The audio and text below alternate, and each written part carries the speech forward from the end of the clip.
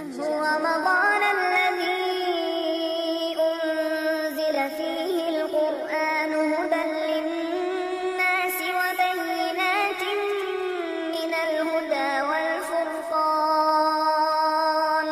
فمن شهد منكم الشهر فليصم আসসালামু আলাইকুম রহমতুল্লাহ বারাকাত সম্মানিত আমাদের ভাই আব্দুল কাইয়ুম ওমান থেকে জানতে চেয়েছেন যে সমাজে এক ধরনের মানুষ রয়েছে, যাদের কাছে নবী সাল্লাহ আলি সাল্লামের সহি সন্ন্যত তুলে ধরার পরেও তারা যুক্তি পেশ করে। উদাহরণস্বরূপ, যে কোনো কিছু খাওয়ার আগে নবী সাল্লাহ আলি সাল্লাম বলেছেন, সাম্মিল্লাহ, আল্লাহর নাম নিয়ে খাও। কিন্তু তারা সেখানে বলে, বিসমিল্লাহ, আল্লাহর নাম নিয়ে খেতে হবে। কিন্তু তারা সেখানে বলে বিসমিল্লাহ রহমান রহিম। তো বললে সমস্যা কোথায়? তো এই ধরনের মানুষদের জন্য কি বিধান রয়েছে জানতে চেয়েছেন? অবিল্লাহ তৌফিক সম্মানিত ভাই। আলহামদুলিল্লাহ রবিল আলমিন, আসসালাত ওয়াসালাম আলা নবীনা মোহাম্মদ ওয়ালা আলী ওয়াসাহাবি আজমাইন। সম্মানিত ভাই, চমৎকার আপনি প্রশ্ন করেছেন। জাজাকুমুল্লাহ খায়রাম ও বারাকাল্লাহ ফিক। সম্মানিত ভাই, এই সমস্ত মানুষদের জন্য সমস্যা হচ্ছে যে তারা গুমরাহের একটা নতুন পথে পরিচালিত। শয়তান তাদেরকে এমন কিছুভাবে গুমরাহ করছে যে জিনিসটা তারা ধরে উঠতে পারছে না, বুঝে উঠতে পারছে না। যেমন, মহারব্বুল আলমিন বললেন মহাগ্রন্থ আল কোরআনে সুরাতুল নিসা উনষাট এবং পঁয়ষট্টি নম্বর আতে ইয়া ইহল্লাদিনা আমানু আতে উল্লাহ ওয়া আতে উর রসুল। হে মুমিনগণেরা, তোমরা আল্লাহ এবং তার রসুলের আনুগত্য করো। সুরা মোহাম্মদ তেত্রিশ নম্বর আয়াতে বলছেন, ইয়া ইহল্লাদিনা আমানু আতে আল্লাহ আতে রসুল ওয়ালা তুবতিলু আমালাকুম। যে তোমরা আল্লাহ এবং তার রসুলের এই আনুগত্য করো আর তোমাদের আমলগুলোকে বিনষ্ট করে দিও না। এখন আল্লাহ এবং তার রসুল আমাদের জন্য একটা হাত মানে বর্ডার নির্মাণ করে দিয়েছেন। একটা বর্ডার আছে যে কোনো জিনিস, সীমারেখা আছে, বুঝতে পেরেছেন?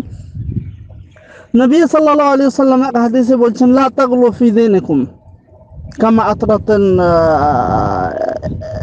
নাসারা ঈসা ইবনে মারইয়াম। যে, লা তুতুরুনি, আমাকে তোমরা বাড়িও না। কামা আতরাতুল ঈসা ইবনে মারিয়াম যেমন ভাবে তারা ঈসা ইবনে মারিয়ামকে বাড়িয়েছে। বুঝতে পেরেছেন?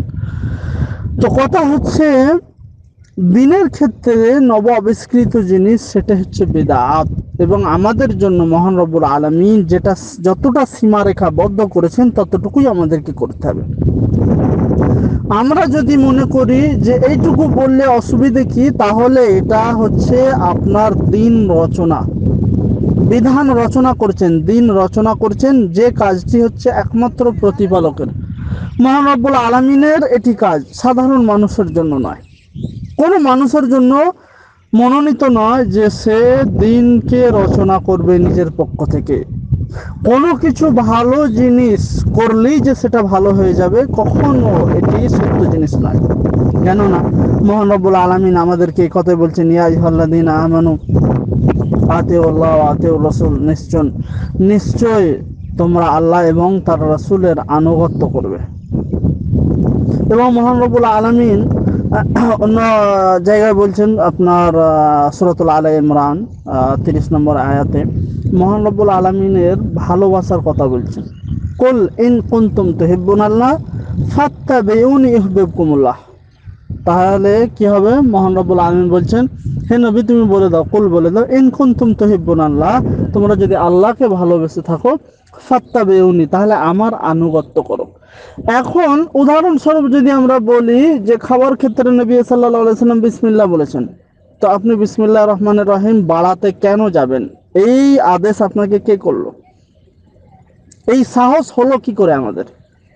তো সম্মানিত ভাই, যে ধরনের মানুষেরা এইভাবে বাড়ায়, তারা হচ্ছে গুমরাহ, গুমরাহের মধ্যে রয়েছে আর শয়তান তাদেরকে ভালো জিনিস দিয়ে গুমরাহ করেছে। বুঝতে পেরেছেন?